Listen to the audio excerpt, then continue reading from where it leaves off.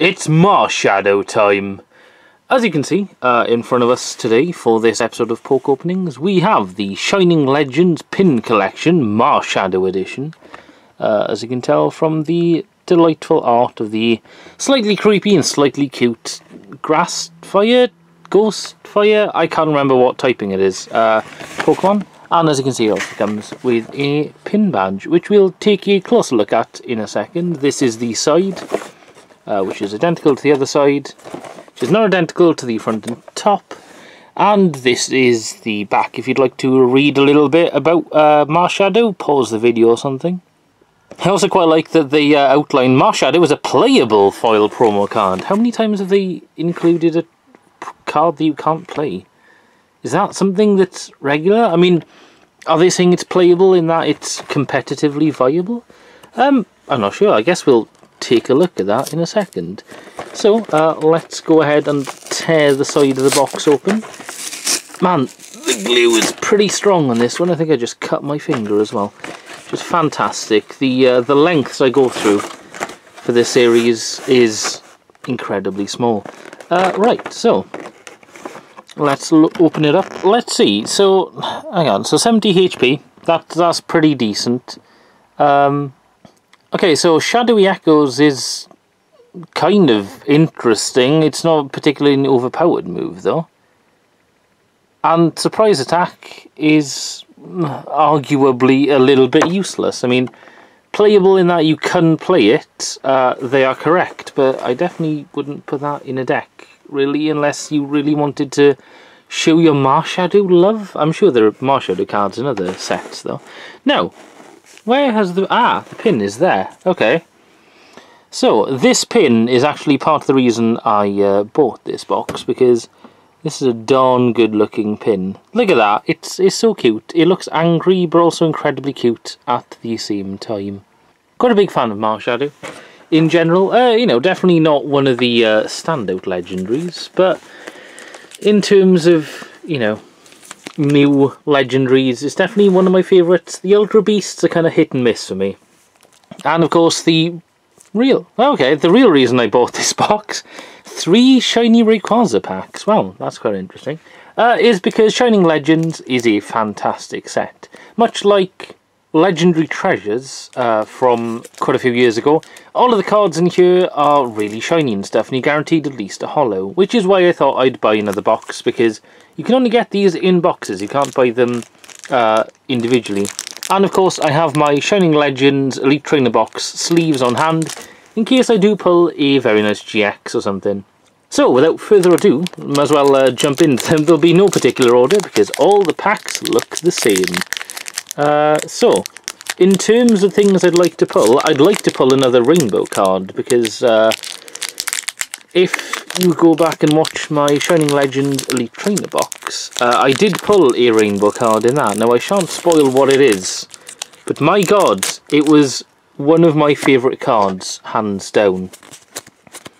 Four to the front, I believe it is. Yes, Steel Energy begins our pack that also contains Scrafty! Yay! I've never been big on the Scraggy line, really. We have a Buizel, uh, Floatzel, sorry, which is a line I actually do quite like.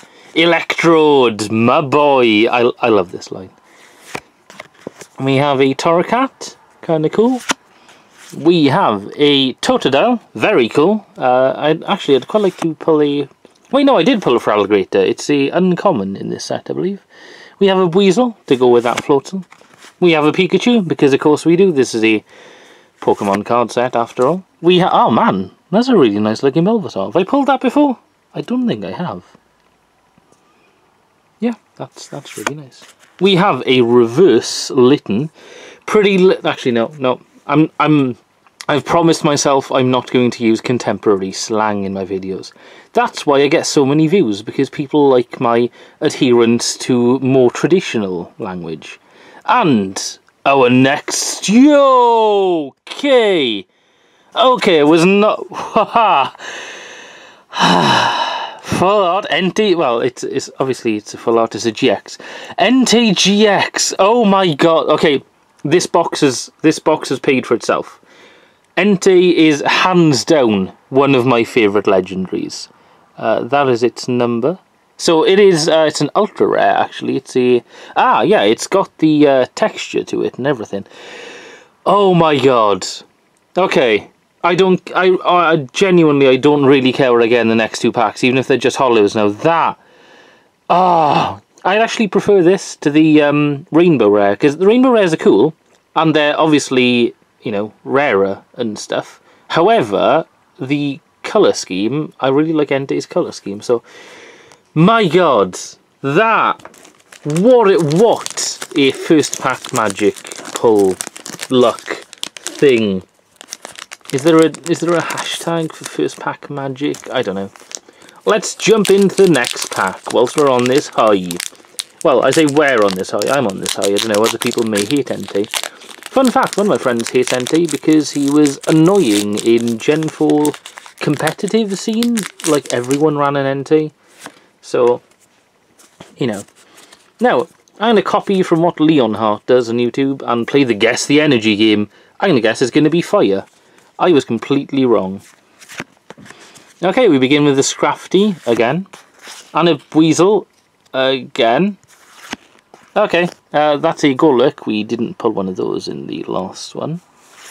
We have a Voltorb looking off into the sunset really angrily. But kind of a bit like he's reflecting on his life.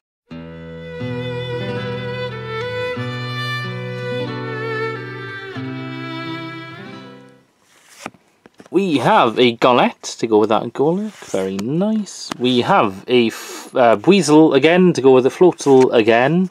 We have a Scraft, uh, Scraggy to go with that Scrafty. Very well. Look, you're you're together now. You don't need to appear in the next pack. Uh, we okay. this is reverse, but it's not. We have a Croconaw. I don't actually think I have the Croconaw. I have the um. So that is very nice. That's actually some pretty uh, pretty unsettling artwork, actually. We have oh yes. Okay, reverse energies are really cool. The they just seem like they're very valuable cards where they're not even technically counted in the set. And they were rare. Ooh, okay, Holo Zekrom. I think I've pulled this before. Um, but hey, you know, Zekrom is a cool dragon, and I might be able to run him in my deck, which now spans about three different generations, because I formed it during black and white, so I can't play it in any tournaments anywhere, but I can play it with friends. And ultimately, isn't that what card games are about? Playing it with your friends, or even making the bonds of friendship through card games.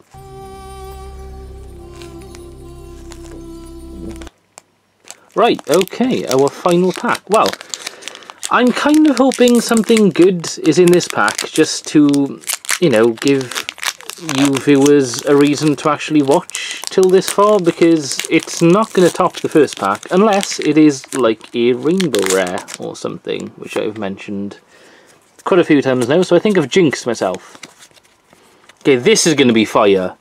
No, okay. So we begin with a Liepard, as well as a Lapras, but I knew that wasn't a Lapras. Ooh, okay, we have energy retrieval we have a mag... Uh, no.